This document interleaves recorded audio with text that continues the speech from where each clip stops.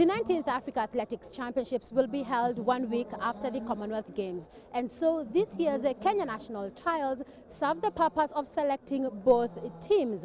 Now, some athletes will be allowed to compete in the Commonwealth and the Africa Championships, especially in the middle distances. However, the Africa Championships is more attractive for many athletes.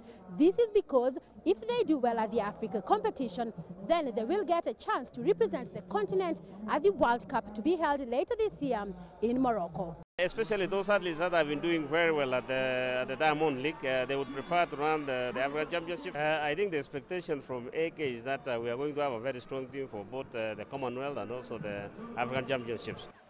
Helen Obiri has been in blistering form so far this season and she continued this on Saturday winning the national championship. The World Championship bronze medalist is eyeing gold medals both in the Commonwealth and African Championships.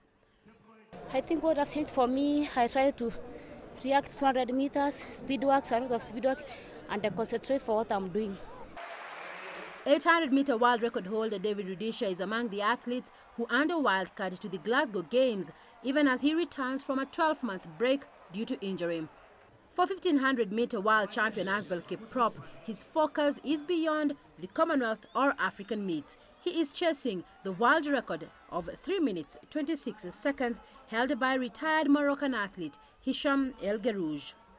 It's my focus. Um, it's called a world record attempt. It's a, a, world record trial I am going to, to do in Monaco. And um, that was my focus for this year uh, with a world relays, and I'm looking forward. On the field, Julius Yego nicknamed YouTube athlete after learning how to throw the javelin by watching clips from the video sharing site, will be looking for double glory at the Commonwealth and Africa Championships. Yego, who is the national record holder, finished fourth at the World Championships last year.